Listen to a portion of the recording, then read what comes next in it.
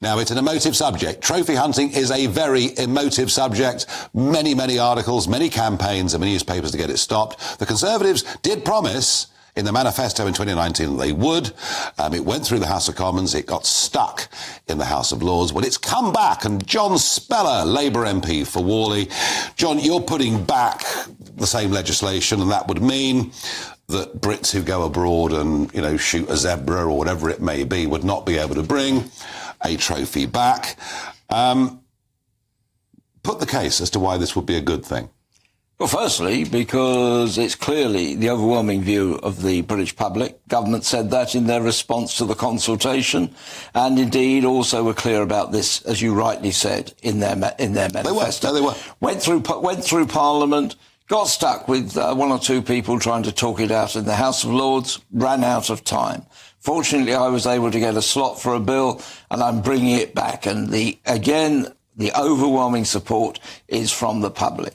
Now, just earlier, I was doing a program with uh, with with another channel, and you know, there in the background there was pictures of giraffes walk, uh, walking around. The public cannot understand why someone would want to go out, shoot a giraffe, pose on top of its dead body, and then bring its parts back. It's pretty disgusting. We don't really want it in this country.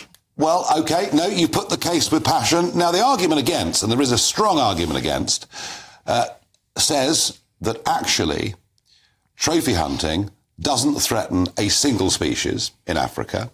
Poaching certainly does, and there are some terrible things. That loss of habitat certainly does. I'm joined down the line by Professor Amy Dickman, Director of the Wildlife Conservation Research Unit. Now, Amy, whether you approve of trophy hunting itself, you do think that it can bring some benefits to Africa, don't you?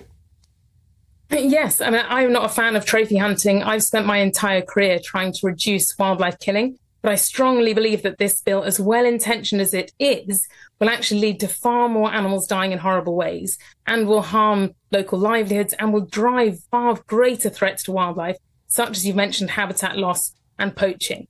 And when we talk about um, John Spellar there mentions this sort of public opinion around the bill. I think that strongly comes because the public and politicians have been lied to on this topic.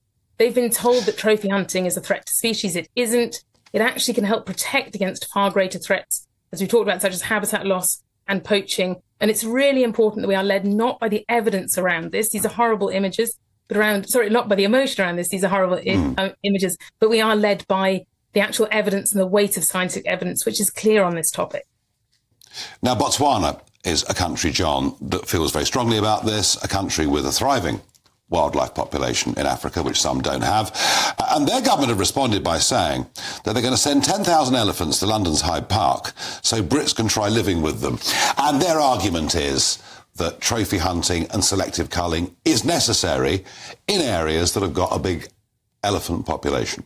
So they're going to fly them back on planes that have gone to Rwanda or something. Well, I mean, well that's not, a separate topic. Let, let, let, let's not get. You see, and I do slightly always um, have a question mark when people are told, well, the public don't know uh, what they're doing and they've been lied to, and therefore that means well, they've, they've been gullible okay. as politicians as well. You see, Kenya, for example, yep. is a country which has uh, very much restricted shooting, mm. and as a result, they have a very thriving uh, population, but also they have a very thriving uh, safari industry of people who go there to shoot uh, animals with cameras not with rifles well, and crossbows. Botswana has both. Botswana has mm. both. I mean, John, surely the thing that we, the thing that would unite the public is what is best for the animals. And the argument made in African countries where, you know, a rich American or British businessman will go and pay $50,000, $100,000 to shoot whatever it is, uh, elephant, whatever it may be.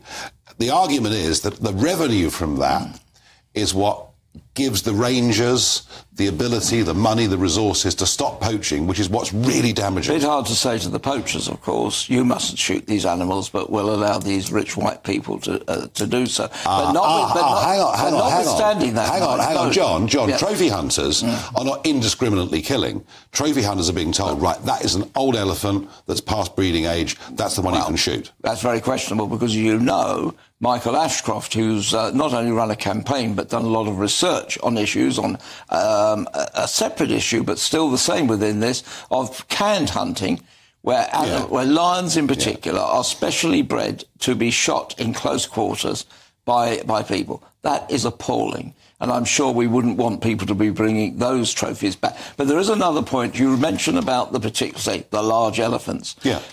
Elephants have a social structure.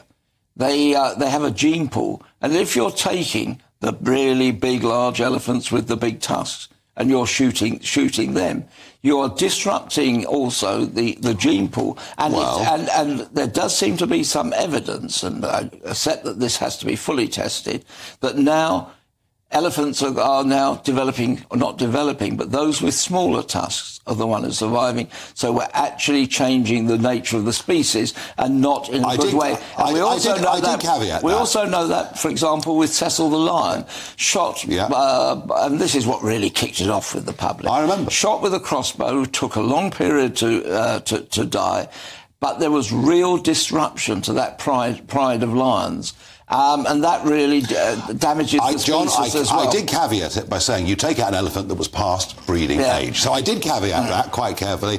Look, I think wildlife management is what we all care about above everything. Mm. I'm not sure that this bill will make people feel good about themselves. Whether it helps Africa, it's a hot topic debate, and thank you for coming in and putting your side of the argument with such passion. And the public side of the argument. Well, the public are very strongly I, behind I, I, as I say, the point is what the public want to see is thriving wildlife in Africa, and whatever was whatever was best. But yes, it's a minority. But it's they, a minority sport, and they, there are all sorts of minority sports the public would but ban. We, but we did away know? with bull with bull baiting. We, we did, did, away with bear baiting. We, we uh, yeah, I know. We'll all we'll all finish up vegan. No, we're doing all of those. we will all finish up. The vegan. public mood changed because we accepted that these yeah. were things from the past, and they were barbarous things from the past. This is going to happen to trophy hunting hunting, hunting I, as well. I, I, hope my bill will be a small step I, on that way. I would be surprised if under Labour we don't ban pheasant shooting and all sorts of things. And I think this whole debate this is, is going to go is, on. This unites the parties.